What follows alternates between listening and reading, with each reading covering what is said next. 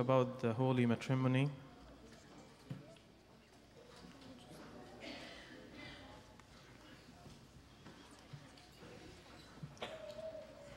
And uh, if you remember, we spoke about the meaning of matrimony, marriage. We spoke about the goals. We spoke about the institution of the sacrament in the church. And we spoke lastly about the characteristics of the Christian marriage. The characteristics of the Christian marriage. Tonight, let us talk about some some principles and conditions of the Christian Orthodox marriage. I'm going to say some points, and I repeat some points concerning the conditions on which the Christian marriage should be taking place.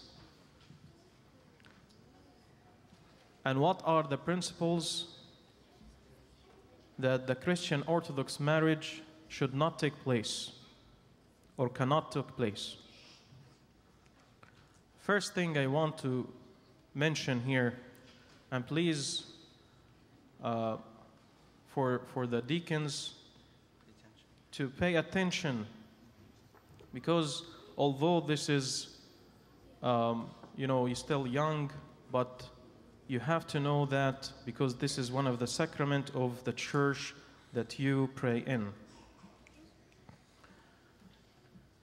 The first thing is the Christian Orthodox marriage has or is a permanent, permanent means last forever, permanent, sacred, religious bond. Until this point, we are agreeing. Perform it publicly means it has to be in public, in front of all the people, all the congregation, all the church.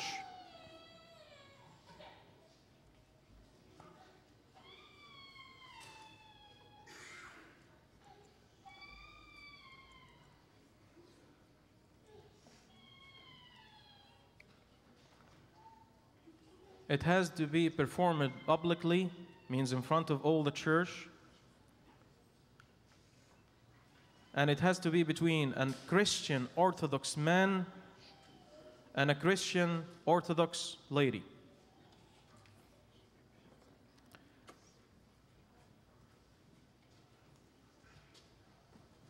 It cannot be between a Christian Orthodox man and a Christian Orthodox man. And it can't be between a Christian Orthodox lady and a Christian Orthodox lady. Of course, we all know that. The second point that is important about our marriage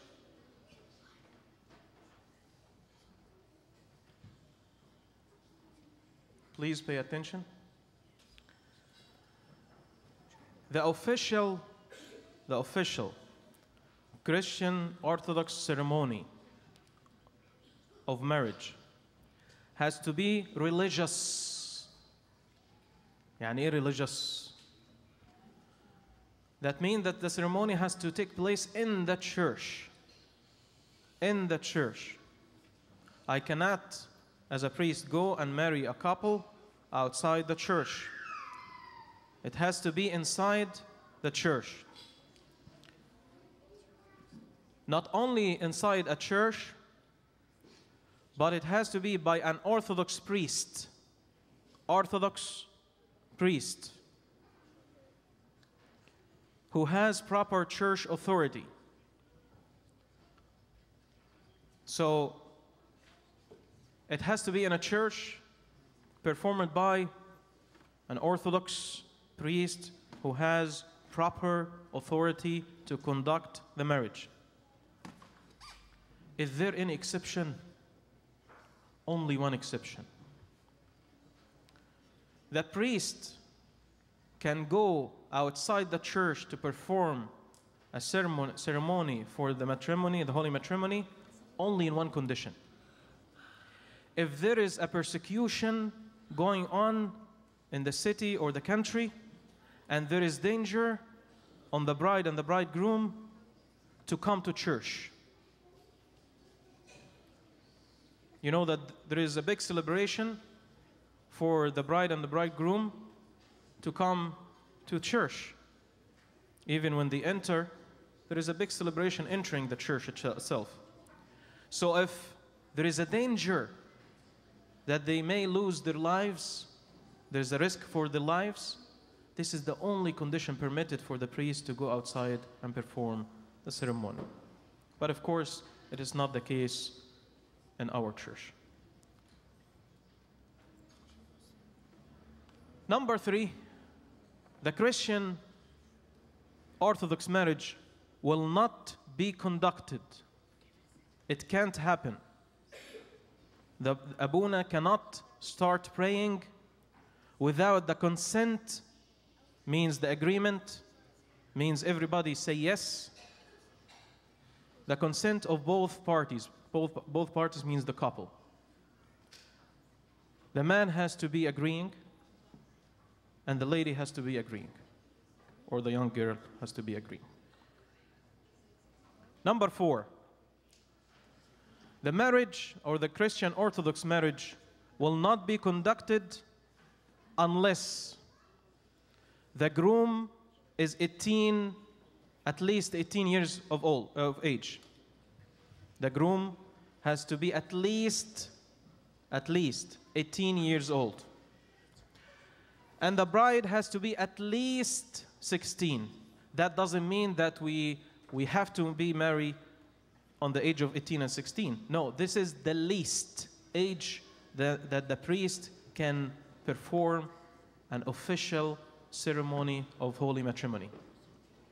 So the age, the proper age, has to be over 18 or over, 16 or over. 18 for the man, 16 for the young lady. Number five. Are you clear with that? Because I'm going to ask. Are you clear? Everybody listening? Okay. Number five. It is not permitted that the sacrament of matrimony take place during seasons of fastings.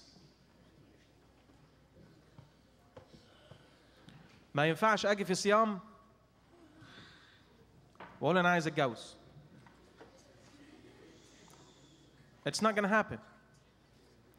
There is no Abuna, there is no bishop, there is nobody will allow this to happen. It is not permitted that the sacrament of matrimony take place during seasons of fastings. That's it? No. Or times, again, or times just before fasting begins. I cannot come the day before the fasting begin and say to the church, I want to get married. The church will say no. Why? What is the reason? Why the church has to put this rule? For it would be very hard for the newly married couple to abide by the commandment of fasting. Either of food or marital relationships.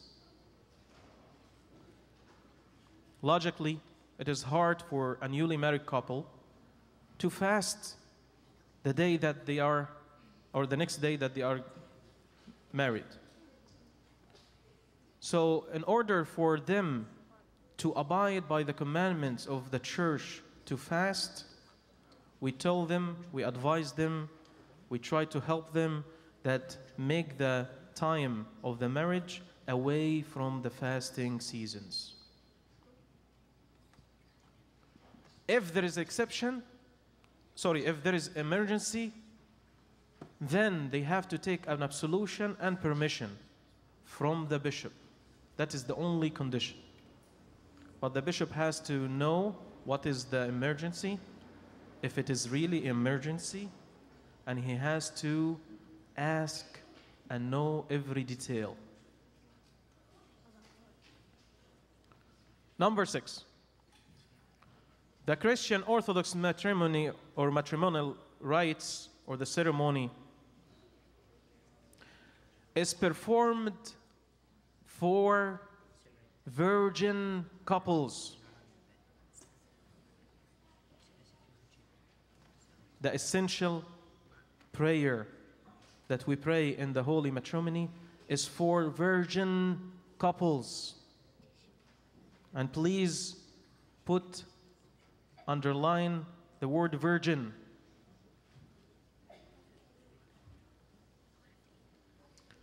But somebody will come and ask, but Abuna, sometimes we see that a lady that she is a widow and she's marrying again. Or a man, his wife died and he's a widow and he wants to marry again. In this case, what the church will do, the church will change the prayer into another prayer called the prayer of forgiveness and pray this prayer in the ceremony. But originally, the prayer is for virgin couples. For what? Virgin couples.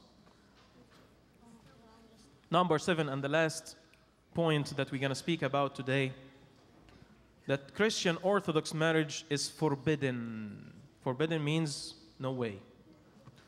If there are any legal, ecclesiastical, or personal prohibitions, what is the meaning of that? I'll give you small examples. Examples. If Abuna find a brother and a sister, comes to him and say, we want to, to get married. That's one of the conditions that it is forbidden for Abuna to conduct the ceremony. Because brother cannot marry his sister, and a sister cannot marry her brother. That's one condition. Another example.